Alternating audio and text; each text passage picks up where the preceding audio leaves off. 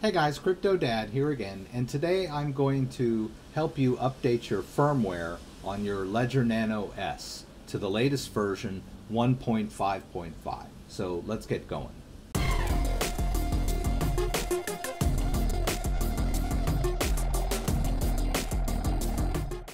Alright, so Ledger has uh, released a new firmware update for the Ledger Nano S, and I've been attempting to do it so I'm going to troubleshoot a little with you guys and explain how this works.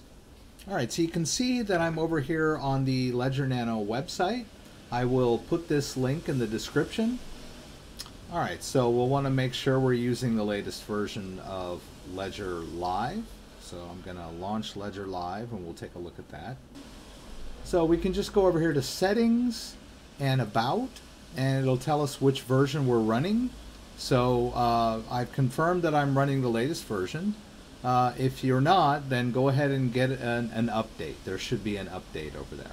And if you were running version uh, 1.1.4 of the firmware, you might have to update to 1.4.2 before you see the button that will allow you to update to 1.5.5.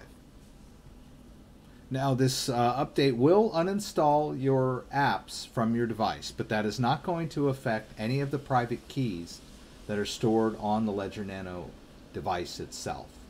Private keys will be perfectly safe. You'll just need to reinstall your applications once you've run the update.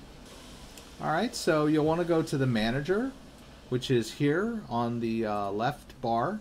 Alright, and you'll want to make sure that got your device connected and you've entered your PIN. And you'll want to be at the home screen. All right, and you're going to get a message that asks you to allow manager on your device. So you'll want to hit that button above the check mark.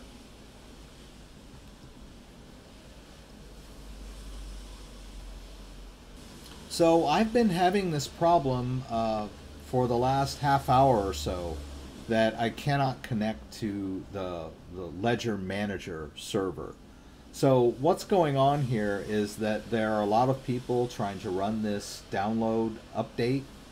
Uh, there are a lot of people trying to connect to get this firmware update, and so their servers are overloaded at this point. And so uh, my advice is to, instead of going crazy, uh, you can do a, a quick restart, maybe disconnect and reconnect, but I've been through all of that and I'm still having this issue. So basically, it's an issue with their server. It's a little bit busy right now. So my advice is to try again, uh, maybe at a different point in the day uh, when it's not so crowded. Okay, so it finally connected and I got this blue update button. So I'm going to go ahead and click the blue update button.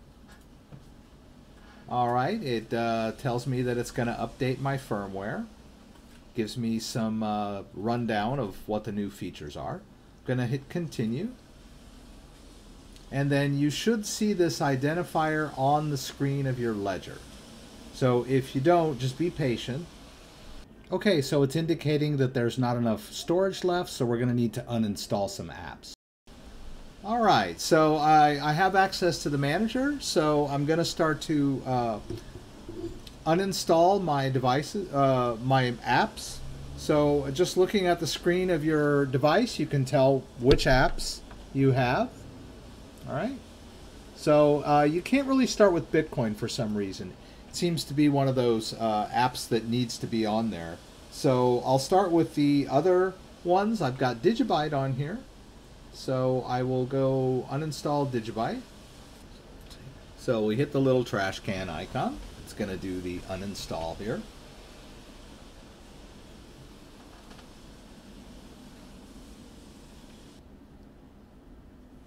Alright, so we got that one uninstalled. I'm going to move over to Stellar. Of course, the apps that you may have on here will be different it, if you just have Bitcoin, it probably will have enough room to run the firmware update. But if you have several apps, like most people, you just need to uh, start uninstalling them. All right, we got that uninstalled. All right, I'm down to Bitcoin and Ethereum, so I'm going to go ahead and take uh, Ethereum off. All right, and uh, got uh, Ethereum uninstalled. I should point out that uh, I'm going to edit this video uh, so that you don't have to sit here through this, but these are taking quite a while, uh, a few minutes each. So I'm down to Bitcoin only, but I'm going to go ahead and uninstall Bitcoin. All right, so I've got the Bitcoin uninstalled. So now I'm going to go back up here and run this update from 1.4.2 to 1.5.5. So I'm going to hit update. Go through the release notes if you want. And then just keep an eye on the ledger and wait for that identifier to appear on your screen. All right, I see something happening on my screen. Finally. All right, so now it is asking me to confirm the firmware update, and it has that identifier on there, all right? So we're just going to make sure that the identifier matches what's on the screen, and then we'll go ahead and hit that button uh, that's right above the check mark. And then we're going to need to enter our PIN code. All right, and so the instructions tell me to disconnect the USB cable from the device, which I will do. All right, and then I need to hold, uh, you know, I'm looking at it uh, in the same orientation that uh, I'm I see on my screen, and I need to hold what would be considered the left button. And as I hold that button down with my finger, I'm going to reconnect the device.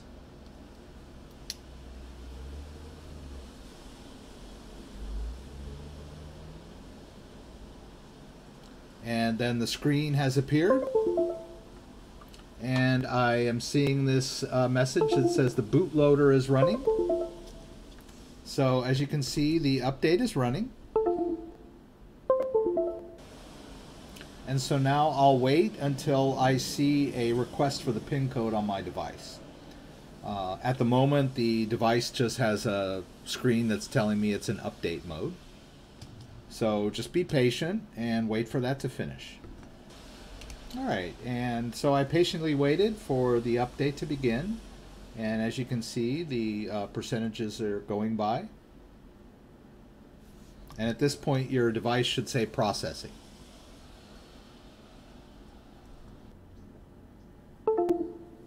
Alrighty, and when it gets uh, to this screen, you can just close this down. right? And then uh, we're going to need to re-enter our PIN. All right, and it's going to uh, be uh, at the app initialization screen, so you will need to uh, hit both buttons to proceed here. And as you can see, I'm back at settings only.